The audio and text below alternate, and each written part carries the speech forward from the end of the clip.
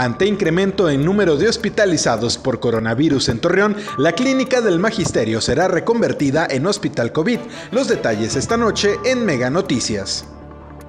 La Secretaría de Educación Pública de Durango emite los nuevos lineamientos que deberán seguir los padres de familia. ¿Quieres saber de qué se trata? Se lo contaremos dos minutos antes de las 8 de la noche por Mega Noticias.